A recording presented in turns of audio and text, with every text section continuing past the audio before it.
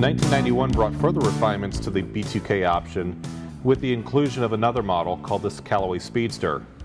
The Callaway Speedster, which was designed by Paul Deutschman, incorporated a low-cut glass that surrounds the driver and the entire cockpit, providing a striking silhouette.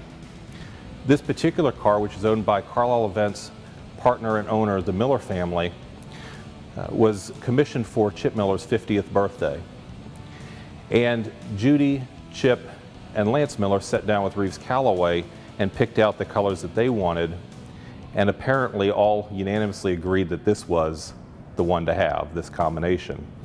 A couple things interesting about the Series 1 Speedsters, each one is different. This particular car, which is number 10, is a dark black metallic pearl and power red interior. Each customer would select the colors inside and out. The leather, for example, completely covers every inch of the inside, including the dashboard, door panels, behind the headrest, the seats, the seat backs, console, etc. And could be in any wild, imaginative color combination the owner chose. Under the hood for 1991, the increased 403 horsepower power plant was beneath with 575 foot-pounds of torque. Let's take a look. Visually, it looks no different than the earlier twin turbo engines that we talked about. And we discussed the feed to the Wonder Bar through the ductwork off of the Corvette factory air cleaner assembly.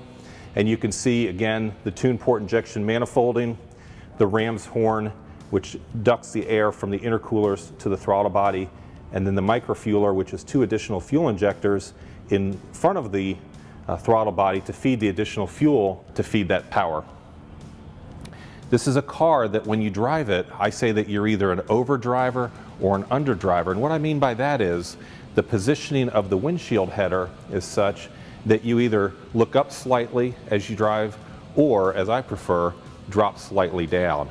But either way, it's one heck of a ride. And if you ever have a chance to get behind the wheel or let alone a passenger in one of these cars, do it. It's a life-changing experience.